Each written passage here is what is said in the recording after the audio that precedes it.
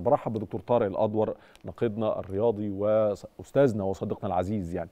دكتور طارق مساء الخير. أهلا بحضرتك. أهلا بك يا أستاذ عمرو. وحشني جدا والله. سنة وحضرتك طيب. دايما, دايما بستمتع بإلقائك كده للأخبار العفو. الجميلة بطريقتك المشوقة. الله يخلي حضرتك ربنا يخليك لينا. واشتقنا للدوري. يعني مهما نقول برضو الدوري ليه حلاوته برضو وبيوحشنا يعني. طبعا هو طبعا بعد العامين الماضيين وفوز الزمالك باللقب بعد ما كان الزمالك خسر اللقب خمس سنوات متتالية لصالح الأهلي وقتها فده خلى الأجواء كلها آه، يعني حماسية جدا. كله ينتظر كده حتى فترة الانتقالات أول مرة نسمع عن فترة الانتقالات ما حدش بيتكلم غير ده ضم مين وده ضم مين مع إن مش هي دي المعايير الحقيقية للمستويات لكن كل الوقت بيفكر في قوة المنافسة مين هيقدر. ينافس هل الأهلي والزمالك بس هل هيخش بيراميدز بنفس القوة السنة دي هل الأندية القوة الجديدة زي فيوتشر وطلائع الجيش اللي نهى الموسم اللي فات في المركز الرابع. ومعاه أيضا أندية يعني عملت انتدابات جيدة زي سيراميكا كليوباترا والبنك الأهلي. هل هيكون المنافسة أوسع من الأهلي والزمالك وبيراميدز بس اللي إحنا عليها بقالنا أكتر من سنة؟ هي. دي كل التساؤلات اللي كانت قبل فعلا إجراء القرعة النهارده. مظبوط. شفت بقى القرعة وأجواءها إزاي؟ وشفت يعني المباريات كده. لو يعني الأهلي والإسماعيلي ده سيناريو مكرر من السنة اللي فاتت في المباراة الافتتاحية بالنسبة للأهلي لكن الزمالك هيبدأ بسموحة وتاني ماتش كليوباترا تالت ماتش بيراميدز. يعني أول ثلاث مباريات للزمالك صعبين الحقيقة. بمنتهى القوة. امم آه، شوف أنا أنا شايف القرعة النهارده بمنظورين. في منظور إيجابي وفي منظور لا يزال سلبي شوية برضه محتاجين نعالجه قبل بقى المواسم اللي جاية لأن إحنا عندنا الموسم اللي جاي والموسم اللي بعد الجاي إحنا كنا محتاجين جدا اننا ننهي المواسم ديت في موعدها الأصلي زي بقية العالم كله. اللي هو مظبوط. يا إما آخر مايو يا إما بالكثير آخر يونيو. لكن إيه الحاجة الإيجابية إن النهارده القرعة تجرى في هذه الأجواء شكلها حلو جدا. إحنا كنا زمان نفتقد إننا نجري القرعة بهذا الشكل اللي, اللي يعني اللي اللي فيه حداثة في العرض واللي فيه إبهار في في في عرض الصورة. لا النهارده الصورة حلوة بصراحة يعني. آه بالظبط. دي حاجة كانت إيجابية جدا. الحاجة الإيجابية الثانية إننا بعدنا كل شيء يضع ريشة على رأس الأهلي والزمالك. كنا زمان دايما نقول إيه؟ الأهلي والزمالك يلعبوا في الأسبوع الأخير للدور الأول والأسبوع الأخير للدوري للدور الثاني فدي كانت غير عادلة بالمرة لأن تكافؤ الفرص يعني يجبرنا على إننا نجري قرعة مفتوحة. آه. النهارده القرعة جرت مفتوحة تماما. القرعة كده هي اللي حطت الأهلي والزمالك في الأسبوع ال 14 صح. هي اللي حطت مواجهات ساخنة من الأسبوع الأول. الاهلي والإسماعيلي اللي تعتبر القمة الثانية للكرة المصرية بعد الأهلي والزمالك. فالاهلي صح. والإسماعيلي يقعوا في الأسبوع الأول. والزمالك وبيراميدز في الأسبوع الثالث ودي قمة نارية برضه. والزمالك وسموحة برضه والزمالك. وسموحة في أول ماتش. آه انطلاق بس أنا بتكلم على المثلث يعني زمالك أهلي أو أهلي وزمالك وبيراميدز هم دول ال- ال- ال- المثلث.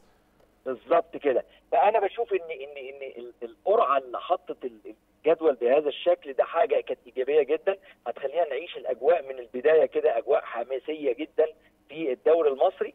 لكن في برضه بعض ال- ال- الزوايا اللي إحنا محتاجين نعالجها كويس قوي في الفترة اللي جاية هي إعلان الجدول بالكامل. لازلنا إحنا بنقول مثلا آدي الجدول آه ال 34 أسبوع لكن لم نعلن إن مثلا الأسبوع ال 20 هيقام يوم إيه يوم كذا. ال 22 هيقام يوم إيه دي برضو نقطة لا زالت سلبية في الدوري المصري إحنا لازلنا بنحط الجدول ولكن نلاقي مثلا نعلن ست أسابيع وبعدين بعد كده نقول نعلن من الأسابيع السابع إلى العاشر وبعدين بعد كده من الأسبوع ال 15 آه. للاسبوع ال 20 وهكذا فبنبتدي نخش في تأجيلات.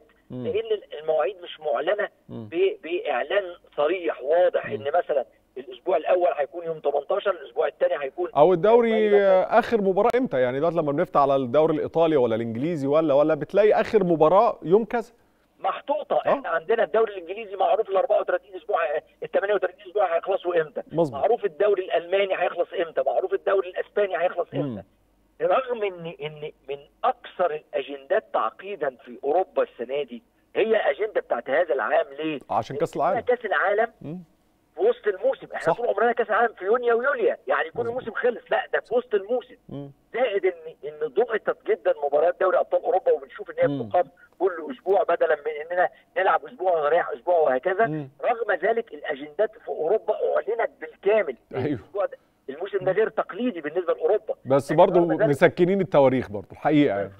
عقبالنا عقبالنا ولكن إحنا ماشيين أهو.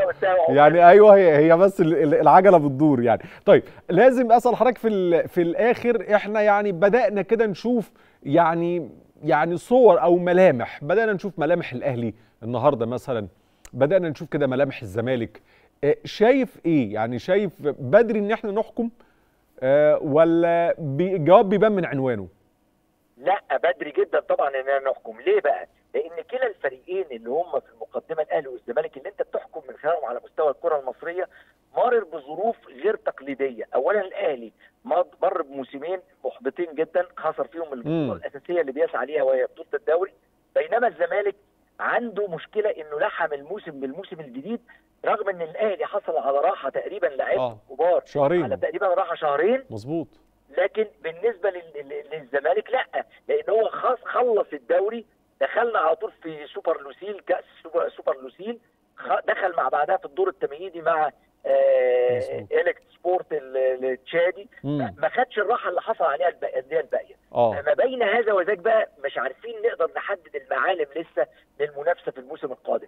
لكن الواضح من المعالم ديت إن أنت في حاجة إيجابية إن الأهلي يبدأ بانتصار وخارج ملعبه على فريق كبير هو المنستير التونسي. وكل الأندية في تونس طبعا بيبقى في حساسيه خاصة كده في مبارياتها مع الفرق المصرية إن يقدر الأهلي يحقق انتصار وخارج ملعبه وعلى فريق مم. كبير.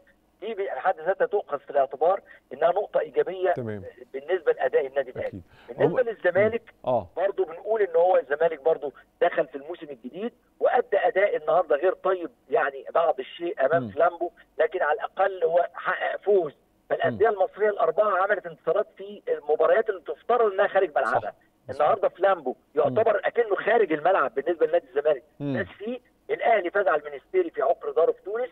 الفيوتشر فاز برضه آه، في ليبيريا مباراة خارج ملعبه على كالون آه، ال- ال- السيراليوني وأخيرا بقى. كمان ال ال ال يعني كل الأندية المصرية الأربعة عملت انتصارات خارج ملعبها آه، بيراميدز برضه فاز على هلال الساحل. بره مباراة. هي لكن هي. تعتبر خارج ملعبه. يبقى الاهلي والزمالك في دوري الأبطال وهلال الساحل وال و- و- و- بيراميدز وفيوتشر وبيراميدز. عملوا انتصارات خارج ملعبهم مظبوط. ودي تخلينا نقول إن النتائج إيجابية جدا مهما كانت الأسباب. صحيح. هي هتكون نتائج إيجابية. عموما نتمنى إن شاء الله موسم موفق بإذن الله لكل الفرق المصرية إن شاء الله سواء في الدوري المحلي إن شاء الله أو في البطولات الإفريقية. بشكر حضرتك شكرا جزيلا دكتور طارق الادور شكرا لحضرتك.